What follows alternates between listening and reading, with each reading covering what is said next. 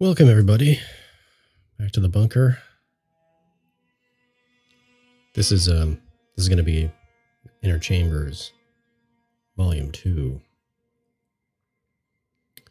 and uh, this is kind of a kind of an unprepared, quick episode this week, but I, I just came upon this particular case, and I really just wanted to bring everyone's attention to it and just get it out there. And um, just bring attention to this because because uh, it's it's pretty crazy. And i hesitate to to tackle this one but i just i have to in this particular case because I mean, it breaks one of my number one rules when i started to um the podcast and cover different issues and cases and books and so forth. Uh, I, I'm breaking a rule of mine, and that is to say absolutely anything about Roswell because let's face it, um, basically anything about Roswell has been said and has been done. At least that's what I thought. Until uh, I, I found out about this particular angle of the case that I had not heard of and again, you know, we can we can speculate on the validity of this claim back and forth and you know, there's there's lots of criticisms pluses and minuses on both sides of this, but I just like I said, I just wanted to get this out there and and cover this so that you can make your determination on this because this is something that I had not heard of. Uh, but it's it's intriguing whether or not it's true. Um, is, is a different issue, but it's it's very interesting, and um, has to do with Roswell, like I said, but it also has to do with Albert Einstein, which, if you think about when these events took place in 1947, if you know you had a short list of people that you wanted to contact had this event really taken place the way it's reported, Einstein would certainly be on that list, wouldn't he?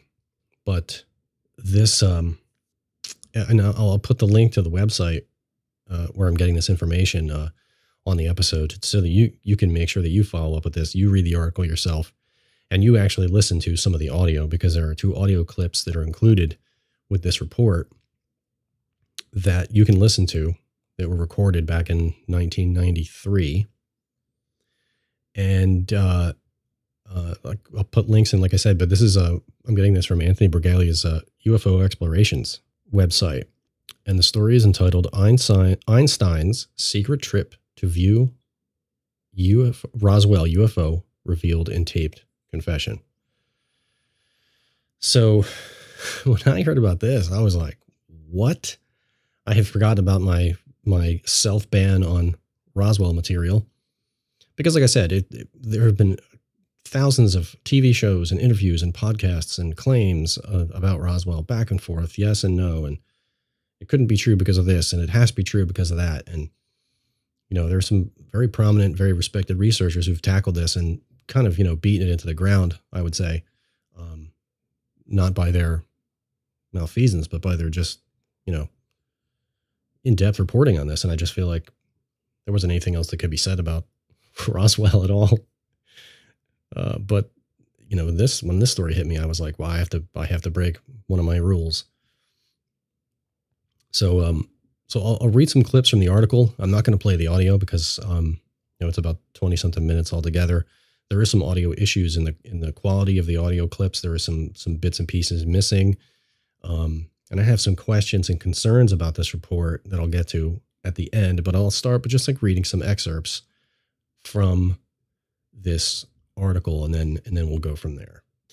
Okay, so the article begins with this. In a 1993 tape confession, never before made public, Albert Einstein's assistant in the summer of 1947 made the stunning admission that she and the professor were flown to Roswell, New Mexico under government direction and examined the debris and bodies resulting from the crash of an extraterrestrial vehicle. The interview of the assistant can be listened to below. She later earned two PhDs at Florida universities in nearly 50 years. In the winter of her life, she felt an obligation to history to reveal, to reveal the truth. She acted on this by allowing herself to go on record and detail the trip that she and Einstein made in July of 1947 to examine a craft and crew from another world. Einstein was, of course, the most renowned theoretical physicist of the 20th century, who revolutionized the science of the, of the astronomic and microscopic, microcosmic levels. Sorry. Einstein proved the existence of atoms and molecules and showed that the fabric of the universe was made of space time. There's also a link to the assistant, Dr. Shirley Wright's uh, obituary here. So I'll just skip down here. Her, her Roswell story was originally told by the late UFO researcher Leonard Stringfield in entries in his privately published early 1990s Status Report UFO Crash Retrievals monograph series. He gave Einstein's assistant the pseudonym Edith, Sim- Edith Simpson to protect her name and family's privacy. But Stringfield did mention in his book the name of the researcher in Florida who met with Dr. Wright to interview her, a woman named Sheila Franklin. Franklin was active in the state's Mutual UFO Network, or MUFON, organization. Stringfield and Franklin collaborated to document what the woman had to say. So let's get to the story. So here's Wright's Roswell story. Wright explained to Franklin that in 1947, she had been chosen from a number of gifted students to work for Professor Einstein during the summer of 1947. She had undergone extensive security and reference checks because her job would place her in a sensitive position. Einstein took a professional liking to Wright, and he took her everywhere.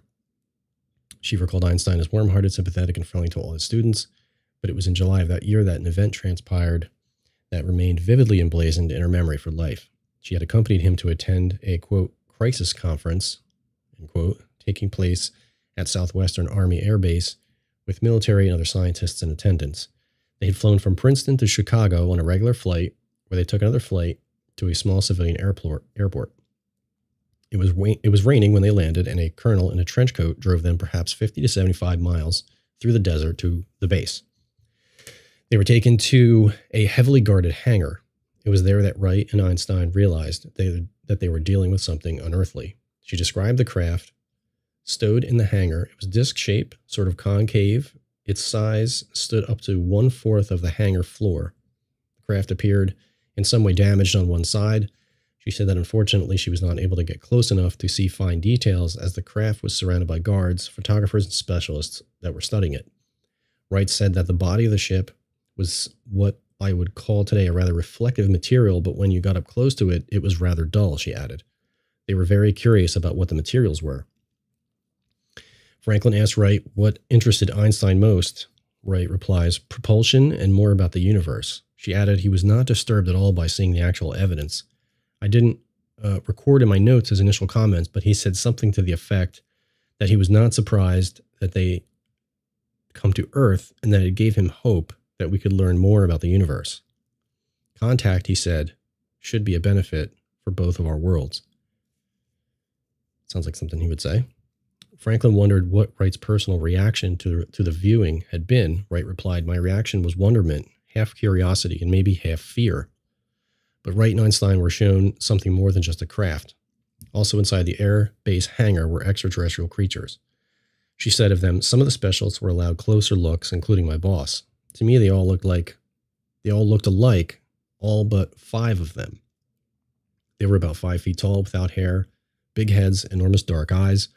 Their skin was gray and a slight greenish tinge, but for the most part, their bodies were not exposed, being dressed in tight fitting suits, but I heard they had no navels or genitalia. Interesting.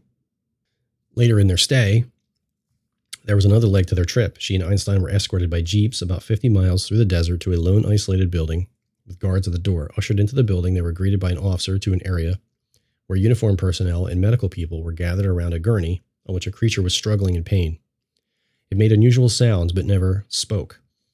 Wright herself was kept at a distance, but described it as a grayish bipedal, perhaps a bit more human than the others that she had seen previously. Its torso was grotesquely expanded. It must have been a fresh case, but I was told nothing, and before long, all of us were dismissed from the premises. Wright told Franklin that later she had heard that the creature survived. Wright says that Einstein quote, who had the right clearance made a report, which I didn't see. I was just told to keep my mouth shut, unquote. Though she was not made to sign any papers, she was reminded of her pledge to say nothing. Frank, Franklin recalls that Wright had mentioned that the Roswell trip would be denied, that there would be no written documentation of the trip, and that any evidence of it having ever been made would be deleted. Wright had uneasy concerns that any types, that the certain types after the event, she may have had tabs kept her in some way, including officials questioning people in her surroundings about her, uh, which isn't surprising. Uh, there's a comment towards the end of the article about uh, attempts to, to validate these claims.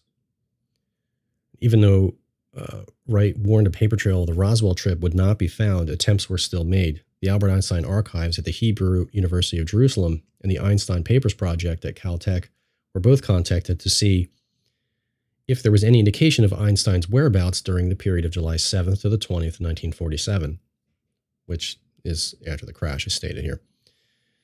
Is there a calendar or schedule by chance that reflects his activities and locations? Although the chances of such documentations were very low, it needed to be addressed. The responses, the responses sometimes, after great delay, were varied,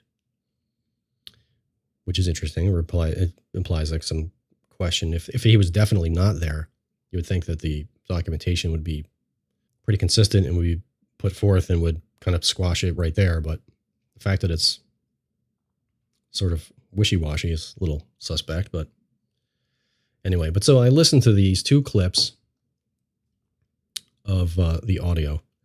One is uh, just shy of 11 minutes long, and the other one's just over eight minutes long.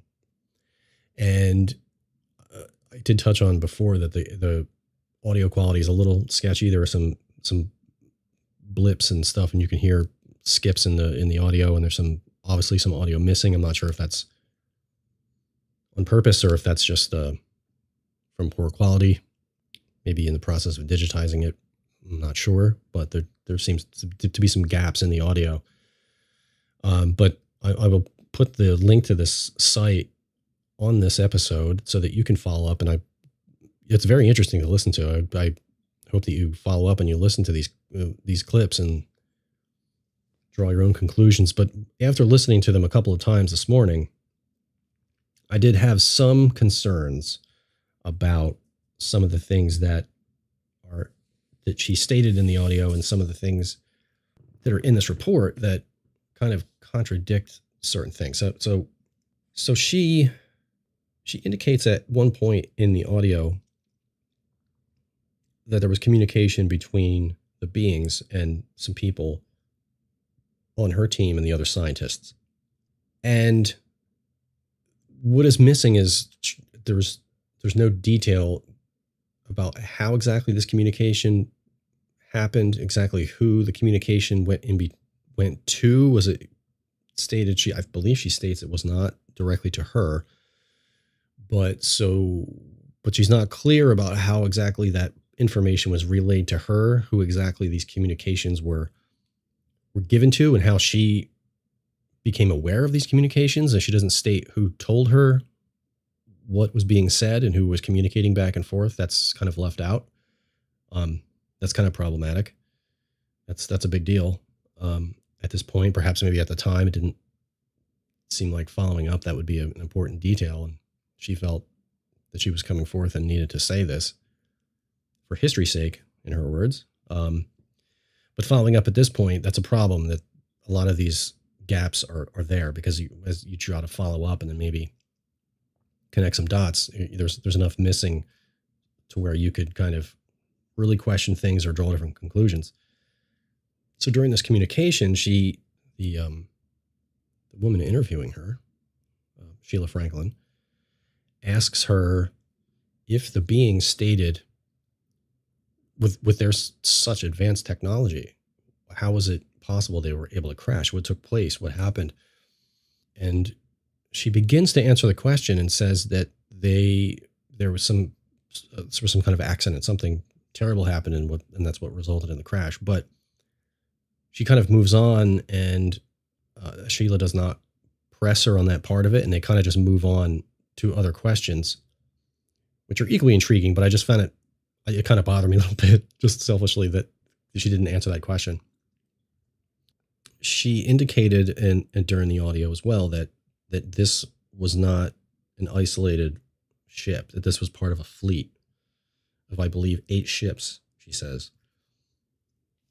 One of which she states crashed in Siberia.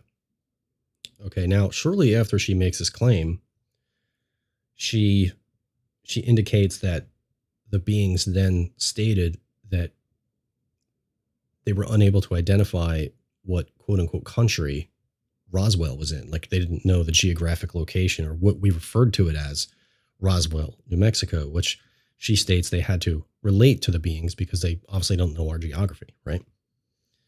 But then, so how did they, so how did the beings know what Siberia was? That's not made clear. And so that's kind of a problem. Uh, but again, there's lots of gaps in this audio. There may be many more tapes. This is only 20, maybe 30 minutes in total uh, with all the all the gaps filled in. But so who's to say if there are other tapes? If she did state this somewhere else, I'm not really sure. If there was a follow up interview that took place somewhere, it's very possible.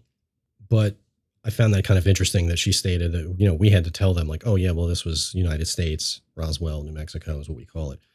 Um, but the being stated that another ship crashed in Siberia. So I'm not sure did was information relayed to the scientists and the scientists determined oh that was probably Siberia.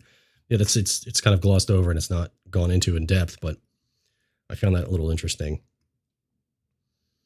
She she also makes a claim in in the audio about what the craft looked like on the inside and what the some of the technology looked like and and and how it worked. Some of the simpler stuff, pods coming up, the devices coming up out of the floor, and so forth. Um, she does state that, but she also states that she was not allowed inside the vehicle. And so she doesn't say in these two audio clips, she doesn't state how she knows that, like what other colleague relayed that information to her. I like understand she couldn't use names, but it's not said that, oh, well, another member of the team told me this. It's kind of just glossed through. She starts describing it, but doesn't go into any detail at all about how she knows it when she was when she clearly stated she wasn't allowed near the craft or in it. So and she was just seeing it from a distance. So that's kind of a problem. Um, so again, there are some gaps in the audio, so this could be maybe have been addressed in some other tapes. Um, but one other thing that I found interesting, and when you listen to this, you'll probably pick up on this, is at, at no point in the audio does she say Einstein's name. She doesn't say Einstein. She says scientists, other scientists, you know, other people, other military, uniformed individuals.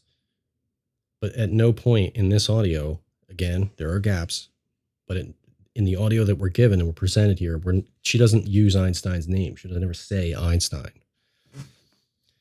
So it could have been maybe that was just implied because obviously that at that time that was her boss and that's where she was. So maybe it was self-evident and didn't need to be stated. But it just, you know, again, all these years later, picking it apart, this is uh, some of the problems I had with it. But still, a super interesting piece of story about Roswell, and it, and it piqued my interest, which I kind of, you know, threw that, you know, bathwater out the window on Roswell years ago because I was just not sick of hearing it, but but I just felt that all of the best investigators had had uh, had tackled this uh, multiple times inside and out, and there was nothing else that could be said about it. But this this story came upon my attention and really it got you know I my ears perked up, and um, you know it's interesting that it's reported that Einstein you know reached out to the president, you know, talked about the president's shoot down order of these crafts that were seen flying over Washington D.C. and warned against it. So it makes you wonder, you know, did did although he didn't come out say it publicly, did Einstein know a lot more than he let on? Was he was he really afraid that seeing some of this technology, as this report claims, he was worried that if we started something with these, this other race, um, them being so superior, we would have, you know, been outgunned and just, you know, taken apart. Who's, who's to say? Uh, but it kind of fits that narrative. And it's interesting that um, this comes out uh, at this time, because like I said, you know, this, this interview took place in 93. It appears in a book. And it's a report that I was not aware of. And it's, it's super interesting. So I wanted to share this with you guys.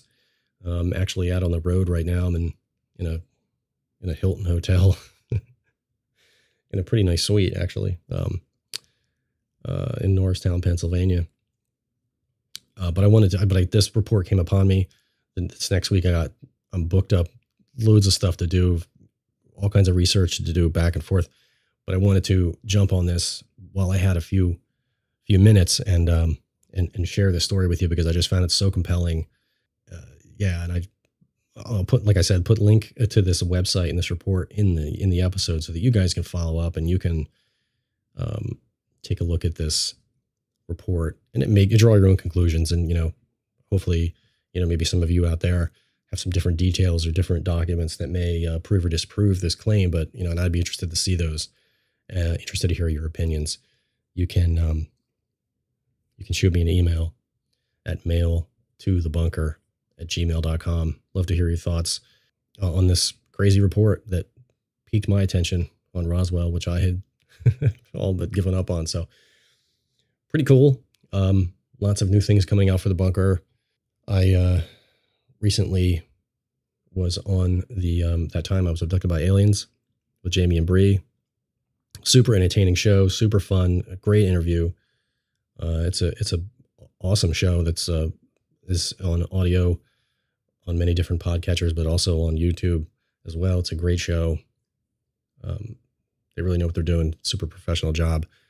Um, and I'll be appearing on that show again coming up soon. Um, and I have a couple of interviews I'm lining up myself for the bunker, so those will be coming up. Uh, so just uh, stay tuned, everybody, and uh, hope everybody has a great weekend. Quite wet and soggy here in Norristown today, but uh, yeah, hope you're having a great weekend and stay weird, everybody.